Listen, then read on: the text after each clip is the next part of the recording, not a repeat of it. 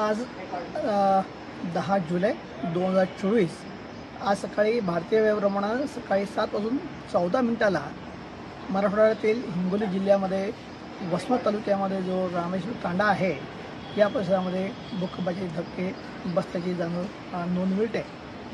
जे भूकंपाचं केंद्र ते बघितलं जातं आणि त्याची तीव्रता ही रिस्टर स्केलवरती चार दशांश पाच एवढी नोंदवली गेली होती.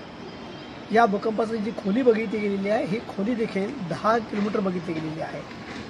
गेल्या काही वर्षांचा आपण अनुभव बघितला असेल तर आपण हिंगोली जिल्ह्यामध्ये कळमुरी ऊर वसमत या परिसरामध्ये भूकंपाची मालिका दिसते. औंढा तालुक्यात देखील दिसते आहे.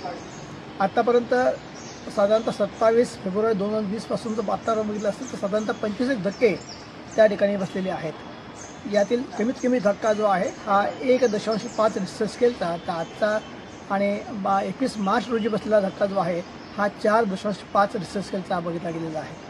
यामध्ये जी वाढ होताना दिसते आहे ही नक्कीच चिंताजनक आहे.